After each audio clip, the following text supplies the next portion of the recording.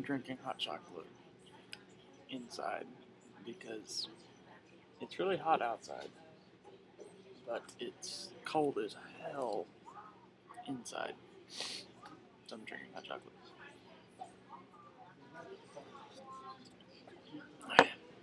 I regret nothing.